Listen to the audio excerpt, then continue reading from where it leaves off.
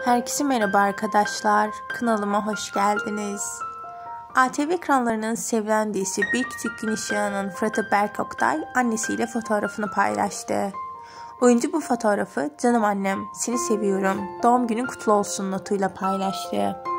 Biz de bu görüntüyü sizlerle paylaşıyoruz. İyi seyirler.